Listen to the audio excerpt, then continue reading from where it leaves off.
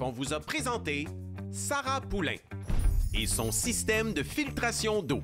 Le filtre de Sarah est conçu pour nettoyer l'eau des polluants et saletés qui s'y trouvent. Il est composé de quatre étapes de filtration disposées verticalement l'une sur l'autre sur un support en bois.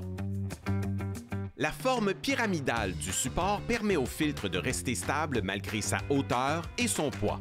La structure verticale permet aussi à l'eau de s'écouler plus facilement. C'est la combinaison des quatre étages qui rend la filtration efficace.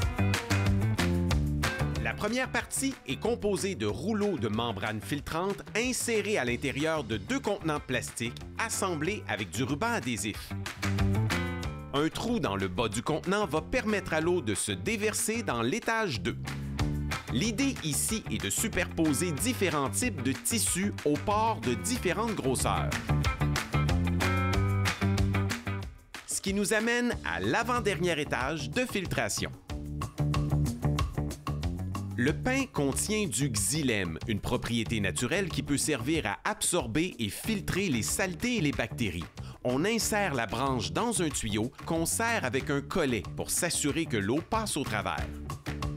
Au fond d'un dernier contenant de plastique, on dépose une couche de coton. Par-dessus cette couche, divers minéraux composent le lit filtrant. L'eau va mettre environ 20 minutes à passer au travers des quatre étages pour s'écouler dans un récipient placé en dessous. Pour voir le filtre de Sarah en action, écoutez Les Inventifs sur UniTV et tv5uni.ca.